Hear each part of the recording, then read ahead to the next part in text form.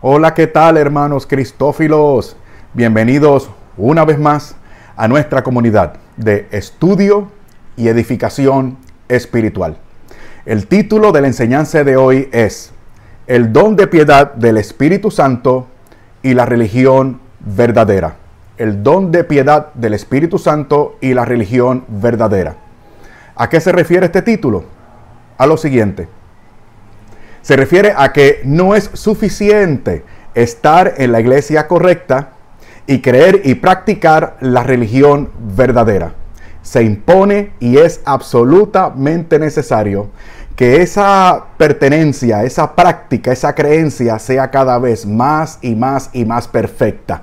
Y para eso es indispensable y absolutamente necesario el don de piedad del Espíritu Santo. Interesante, ¿ah? Esta enseñanza de hoy la dividimos en tres partes. La primera, ¿qué es el don de piedad? Segunda parte, los efectos del don de piedad. Tercera parte, cómo disponernos al don de piedad. Así que la primera parte es, ¿qué es el don de piedad del Espíritu Santo? Antes de proseguir, si no lo ha hecho aún, suscríbase, por favor. Suscríbase para que tenga eh, más frecuente eh, y mejor contacto con nosotros. Y recuerde eh, hacer clic ahí donde está la campanita para que usted se entere rápido cuando o tan pronto publicamos estas enseñanzas para que se beneficie. Bueno, ¿qué es el don de piedad? Este don perfecciona la virtud de la religión. Ya dejamos ver algo, ¿verdad que sí? Este don perfecciona la virtud de la religión que es parte a su vez de una virtud que se llama la virtud de la justicia, llenando nuestro corazón de un profundo afecto filial para con Dios y nos da una sincera devoción hacia las personas y las cosas divinas. Y de esta forma cumplamos con santa disposición nuestros deberes religiosos. Vamos por parte. Dice que perfecciona la virtud de la religión, que es parte de la virtud de la justicia. Sí.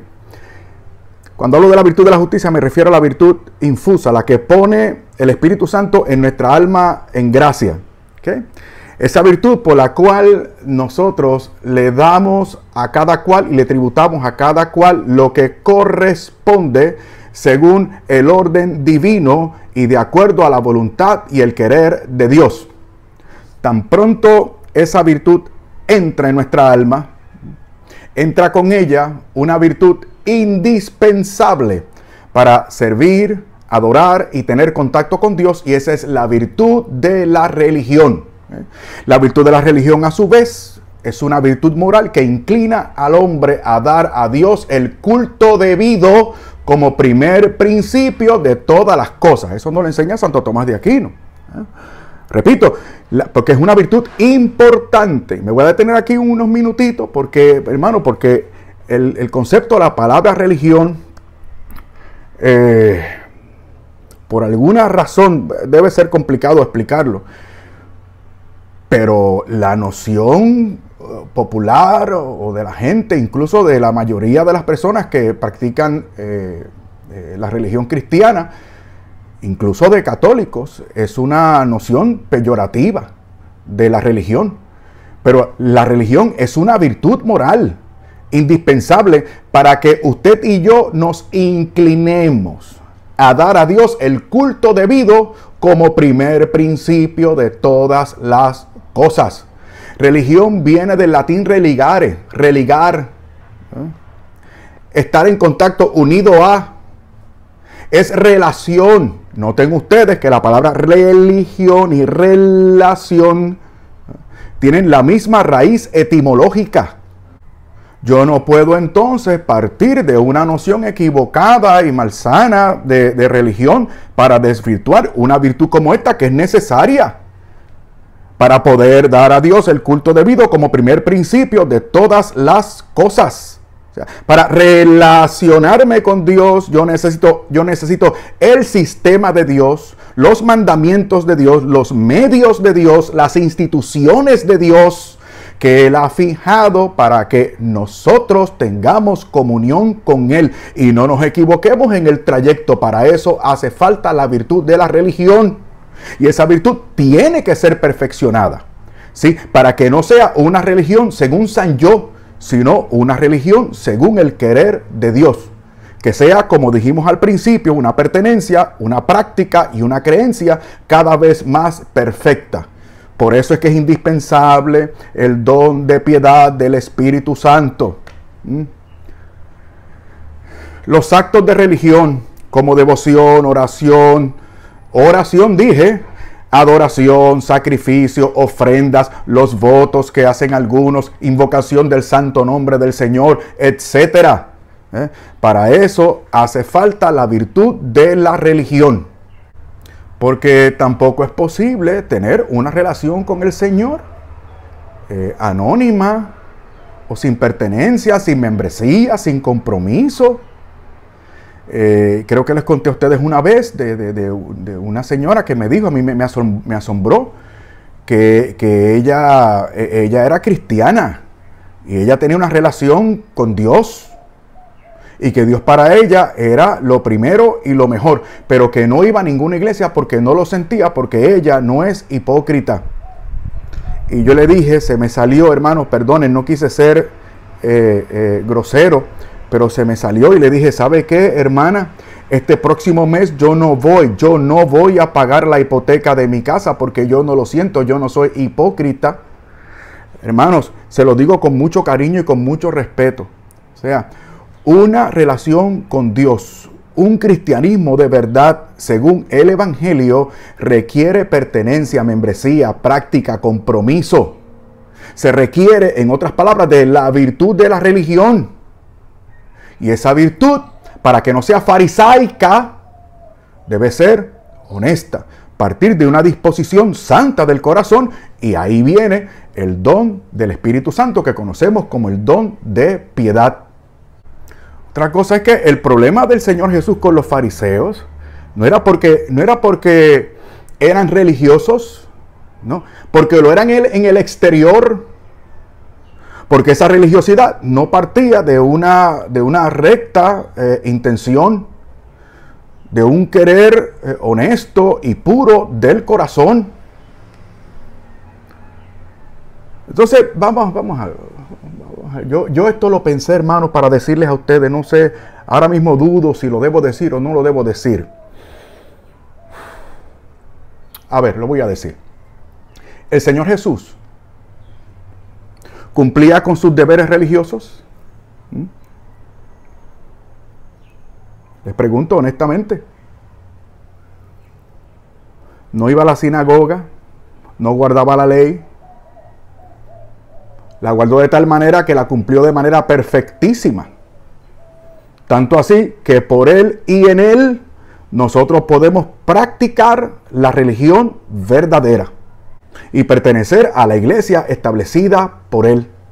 Y el Señor Jesús en este sentido es un ejemplo elocuentísimo de una persona responsable con sus deberes religiosos.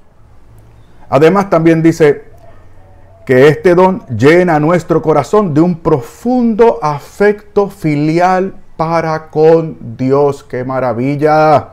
Sí, porque no basta con saberse hijo de Dios o hija de Dios.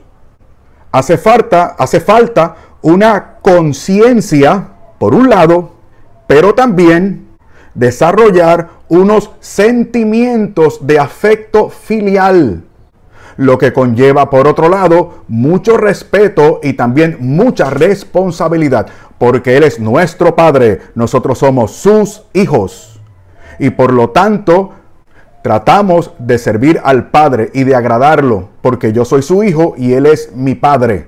Entonces, este don me llena de un afecto, de un gozo, de una sana actitud para que la relación con mi Padre sea afectuosa.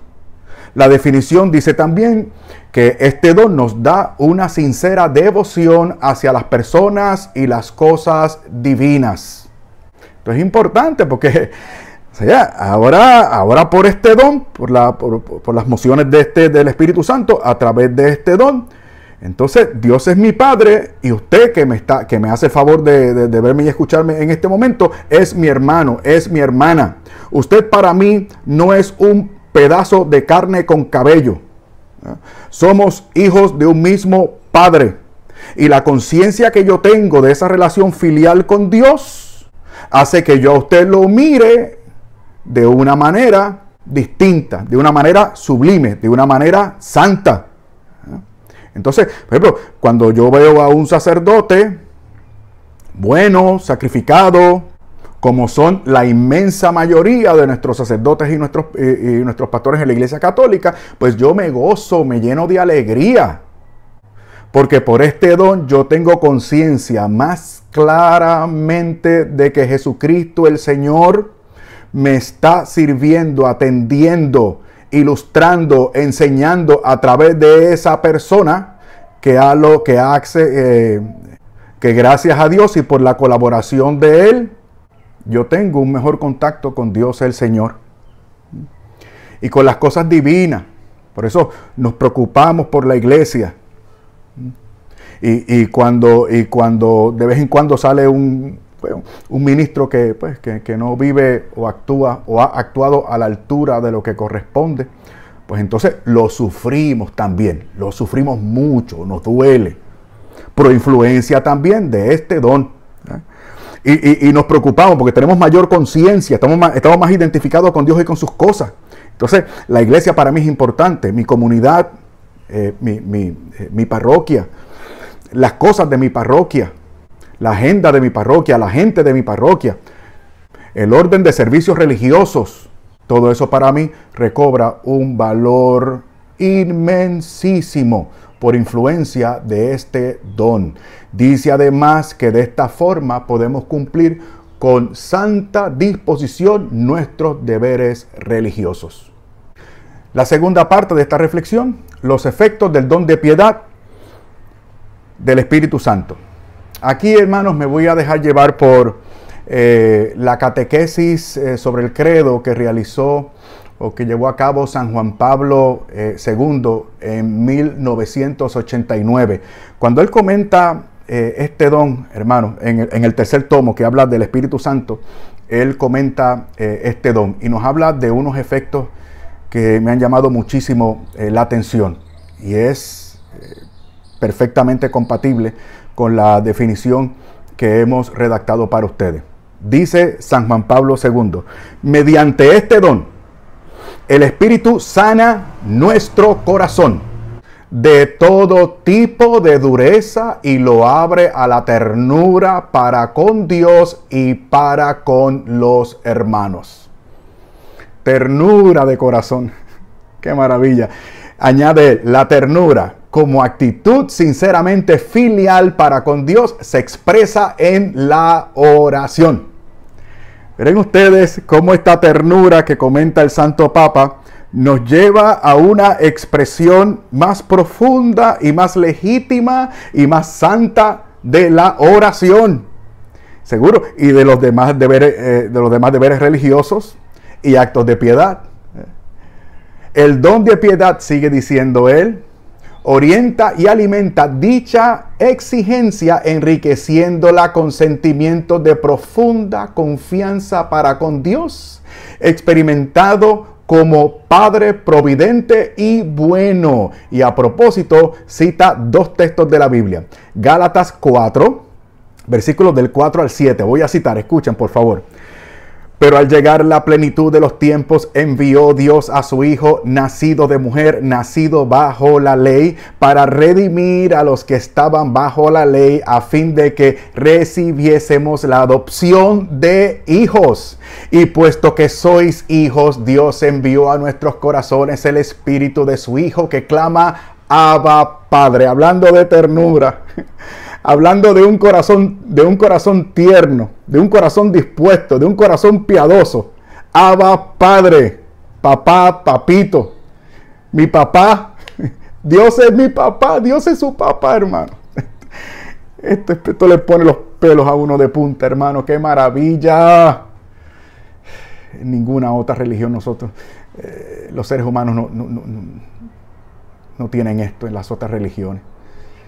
Sea, Dios es de verdad mi Padre, me adoptó compartiendo su naturaleza, revelándome sus designios, dándonos su revelación, haciéndonos partícipes de su propio corazón. Sigue diciendo ahora el versículo 7. De manera que ya no eres siervo, sino hijo y como eres hijo, también heredero por gracia de Dios. Cita también Romanos capítulo 8, versículo 15. Aquí hemos, hemos, hemos dicho en otra ocasión, si recuerdan que Romanos 8 es este capítulo que todas las Biblias traducen como la vida en el Espíritu, así que en el Espíritu Santo, así que esto es importante.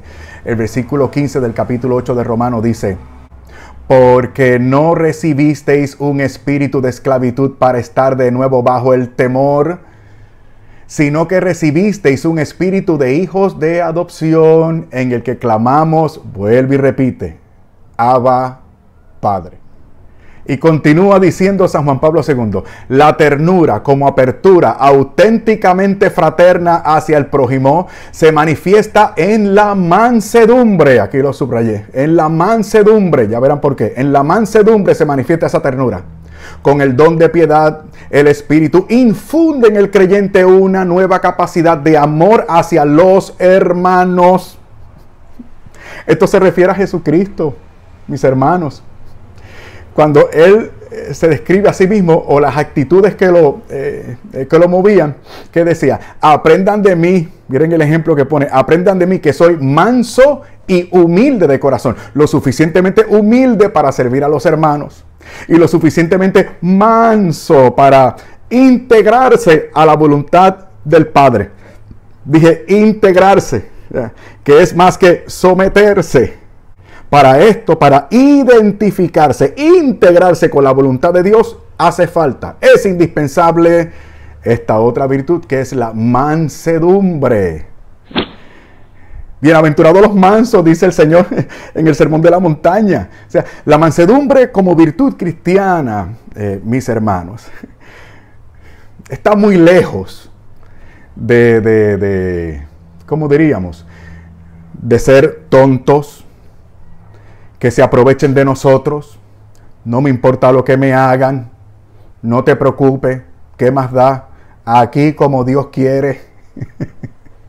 no, la mansedumbre como virtud que nos ejemplifica Jesucristo es estar dispuesto con gusto, con cariño, con ternura, a hacer lo que quiere el Padre porque agrada al Padre y es la voluntad del Padre. Sigue diciendo San Juan Pablo II, el cristiano piadoso siempre sabe ver en los demás, el cristiano piadoso siempre sabe ver en los demás a hijos del mismo Padre llamados a formar parte de la familia de Dios que es la iglesia. También lo subrayé, la iglesia. ¿Se acuerdan al principio cuando hablábamos de la pertenencia? Y de la membresía y del compromiso y de tener conciencia de lo que esto de lo que esto representa y conlleva. Entonces, entonces el don de piedad del Espíritu Santo hace que esa pertenencia y membresía y responsabilidad y compromiso logre un mayor nivel de santidad.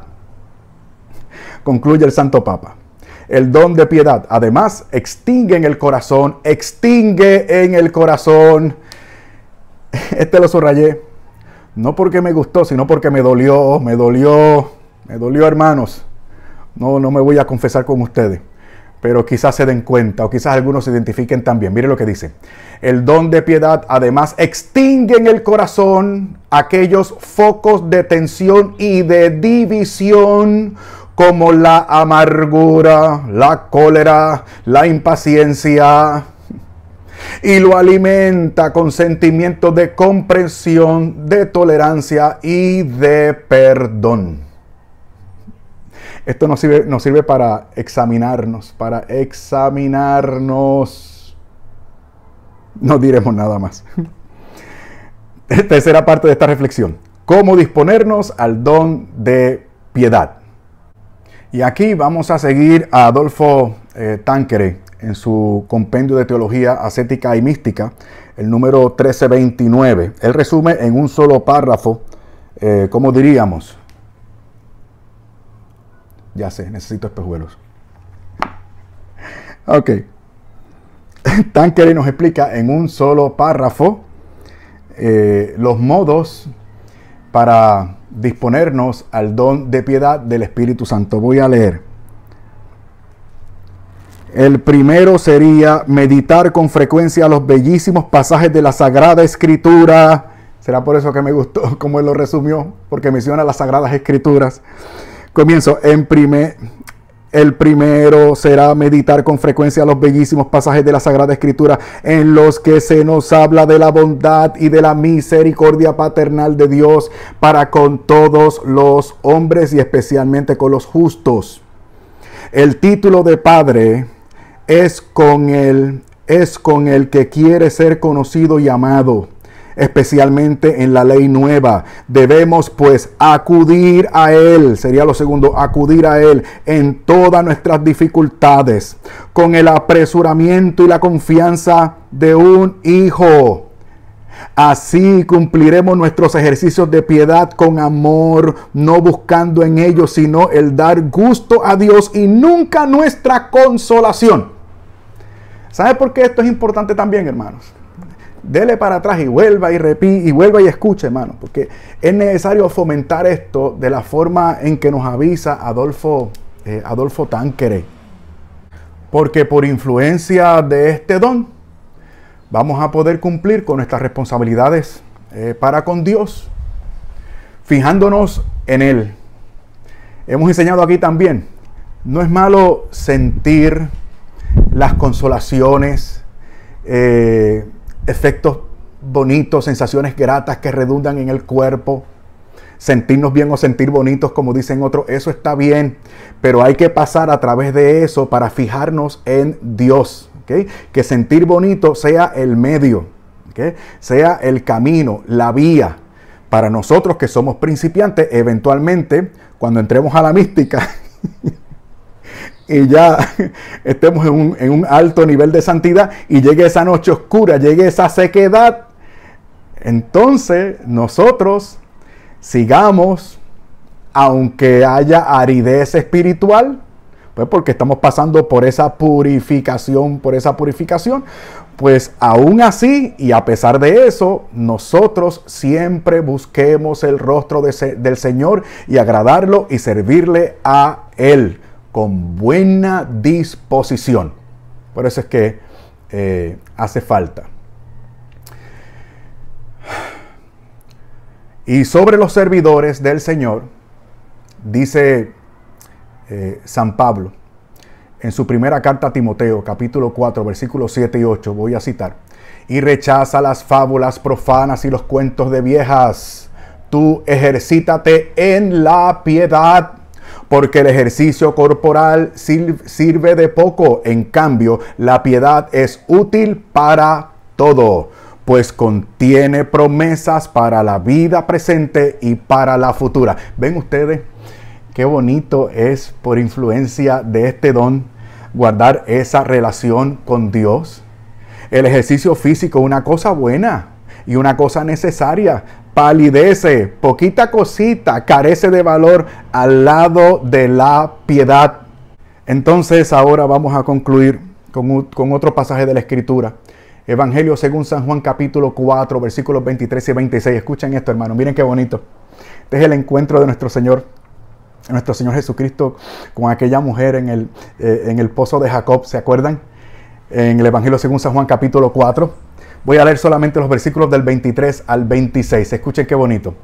Pero llega la hora, le dice el Señor, y es esta, en la que los verdaderos adoradores adorarán al Padre en espíritu y verdad, porque así son los adoradores que el Padre busca en espíritu y en verdad, con intención recta, sana, santa. Por eso hace falta este don Continúa ahora el versículo 24. Dios es espíritu y los que le adoran deben adorar en espíritu y en verdad. ¿Cuál es la, la sintonía del encuentro con Dios? En el espíritu, en el alma.